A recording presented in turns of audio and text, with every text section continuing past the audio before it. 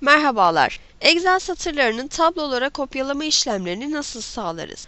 Bunun için öncelikli olarak bir örnek yapacak olursak, stok listesi içerisinde bulunan stok işlemlerindeki malzeme fişlerine geliriz. Ve buradan ekleyeceğimiz herhangi bir fiş türünde giriş yapmak istediğimizde, örneğin üretimden giriş fişi oluşturmak istediğimizde, karşımıza ilgili fiş türümüz gelir. Burada daha önce elimizde stok kartları açılmış olarak bulunan stok malzeme listesinin Excel'i bulunur.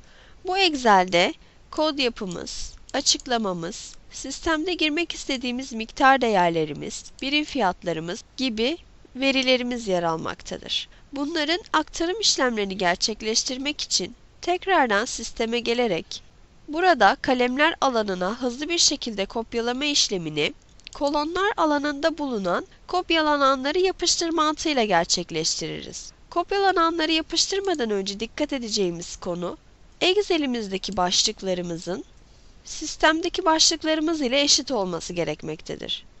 Kod, açıklama, miktar ve birim olarak devam eden kolonları kod, açıklama ve miktar olarak tıpkı Excel'imizdeki kolon başlıkları gibi Sistemimizdeki başlıkları da bu şekilde sıralarız.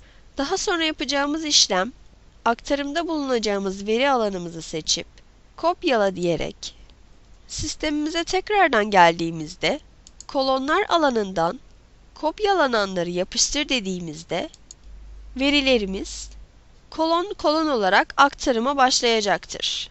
Aktarım tamamlandıktan sonra verileri kontrol etmek isteyecek olursak mikrosim kartın 13 miktar ve 15 birim fiyatına dahil olduğu ve tutarının 195 olduğunu görüyoruz.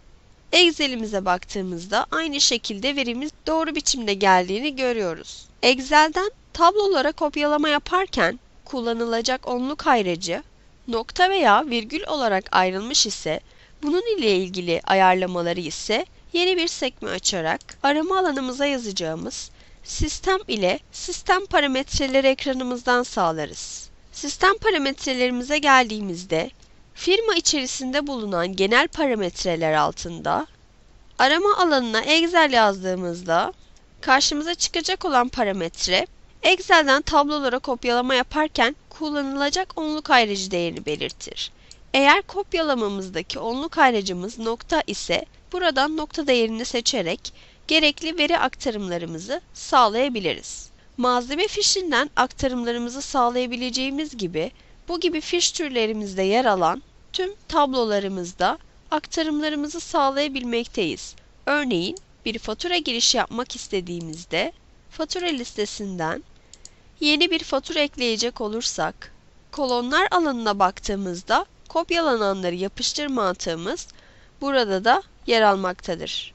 Bu şekildeki Excel verilerimizi sisteme hızlı bir şekilde yapıştırma mantığını kullanabiliriz.